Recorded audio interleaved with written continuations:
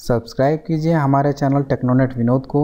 सामने bell icon को ज़रूर दबाइए लेटेस्ट वीडियोस की नोटिफिकेशन पाने के लिए। नमस्कार दोस्तों, आज के इस वीडियो में मैं आपको बताऊँगा कि अगर आप कक्षा 10 पास हो चुके हैं तो आपको अपना करियर किस फ़ील्ड में बनाना चाहिए? अगर आप टेक्निकल फ़ील्ड में जाना चाहते हैं तो इसमें सवाल ये उठता है कि आपको आईटीआई कर लेना चाहिए या फिर आपको पॉलिटेक्निक थ्री ईयर का डिप्लोमा करना चाहिए।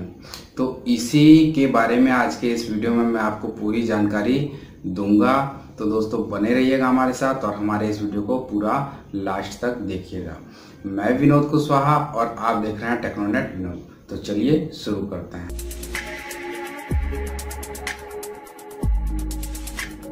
तो दोस्तों कक्षा 10 का एग्ज़ाम देने के बाद बच्चों या फिर आप लोगों के मन में ये आने लगता है कि अब आगे टेक्निकल फ़ील्ड में अगर मैं जाना चाहता हूँ या फिर आप जाना चाहते हैं तो आपको आईटीआई कर लेनी चाहिए या फिर आपको तीन साल का पॉलिटेक्निक डिप्लोमा करना चाहिए। तो देखिए दोस्तों, सबसे बेस्ट ऑप्शन अगर करियर और सैलरी को लेकर सबसे पहले हम सैलरी की बात कर लेते हैं। अगर आप आईटीआई करते हैं और प्राइवेट सेक्टर में अगर आपको जॉब मिलती है तो स्टार्टिंग सैलरी आपकी दस हज़ार, ग्यारह हज़ार, बारह हज़ार, ये आपको मिलेगी। अगर, लेकिन यहीं पे अगर आप पॉलिटेक्निक कर लेते हैं तो आपकी स्टार्टिंग सैलरी पंद्रह से बीस हज़ार हो सकती है।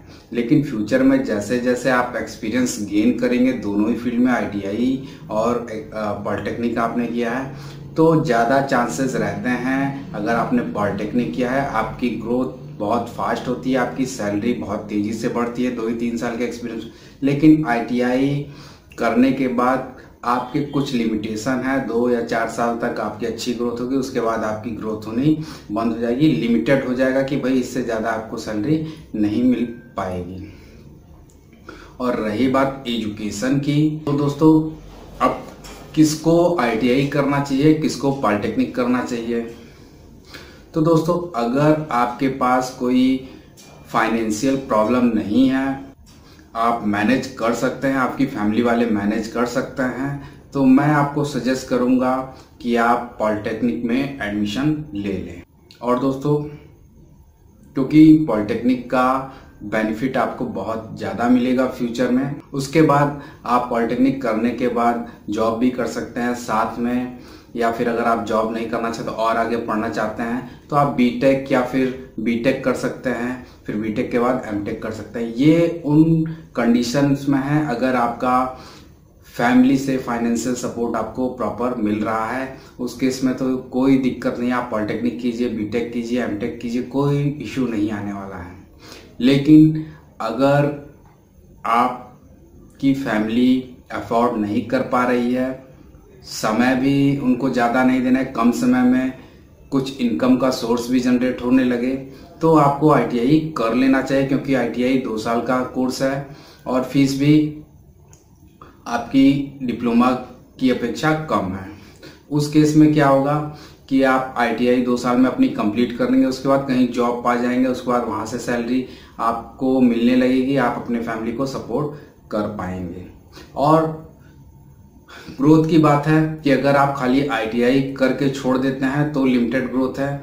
लेकिन अगर उसी में आप मैनेज करके डिप्लोमा कर लेते हैं, अगर आपने आईटीआई किया है तो आपको लेटरल एंट्री में डिप्लोमा में एडमिशन मिल जाएगा। आपको मात्र अगर तीन साल का कोर्स है तो दो साल का ही और कोर्स करेंगे, आपको डिप्लोमा की डिग्री मिल जाएगी। लेकिन आपको, आपने जिस ट्रेड से आईटीआई किया हो, उसी ट्रेड से आपको डिप्लोमा में एडमिशन लेना होगा। तो उस केस में क्या होगा? अगर आपने डिप्लोमा कर लिया तो फिर आपकी ग्रोथ अच्छी होने लगेगी। आपको सैलरी भी अच्छी मिलेगी। पोजीशन भी आपकी बढ़ जाएगी। अगर आप टेक्निकल सपोर्ट में हैं, हो सकता है आपको प्रमोशन मिलके उससे सुपरवाइजर का पोस्ट मिल जाए या फोरमैन का पोस्ट मिल जाए। तो ये सब चीज़ें हैं। लेकिन अब देखिए कोर्स की बात तो मैंने आपको बता दी और रही बात की कि भाई जिस कोर्स कोर्स तो बहुत अच्छे अच्छे हैं, जिसमें जितना ज़्यादा इन्वेस्टमेंट करेंगे, उतना अच्छा आपको इन सैलरी वगैरह मिलेगा।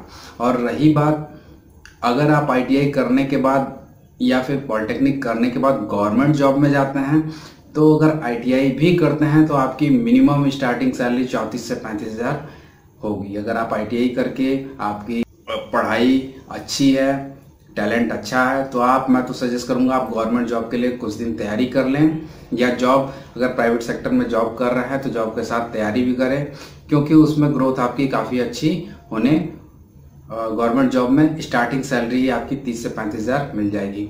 वही चीज़ आपकी डिप्लोमा अगर कर लेते हैं, बिजली विभाग में अगर चले जाते हैं तो आपको जेई रैंक जेई पद आपको मिल जाएगा। उसके बाद अगर बीटेक वगैरह कर लेते हैं, आपका प्रमोशन होकर ए वगैरह आप हो सकते हैं। तो दोस्तों, यही था कुछ डिफरेंस अगर आपके मन में कोई डाउट रहा हो तो मुझे लगता है कि इस वीडियो के देखने के बाद आपके डाउट्स क्लियर हो गए होंगे। तो दोस्तों, अगर आपको हमारा ये वीडियो पसंद आया हो तो इसे लाइक ज़रूर कीजिएगा और अपने दोस्तों में इस वीडियो को ज़्यादा से ज़्यादा शेयर कीजिएगा। अगर वो भी कंफ्यूज है आईटीआई करें कि डिप्लोमा करें या बीटेक करें तो ये वीडियो ज़रूर उनके साथ शेयर कीजिएगा। मैं गारंटी देता हूँ कि ये वीडियो देखने के बाद आप लोगों का या आपके फ्रेंड्स के डाउट्स क्लियर हो जाएँगे। और दोस्तों, किसी भी तरह से हमारा वीडियो आपके लिए हेल्पफुल रहा है तो कमेंट करके हमें ज़रूर बताइएगा। तो दोस्तों, आज के लिए इतना ही। धन्यवाद।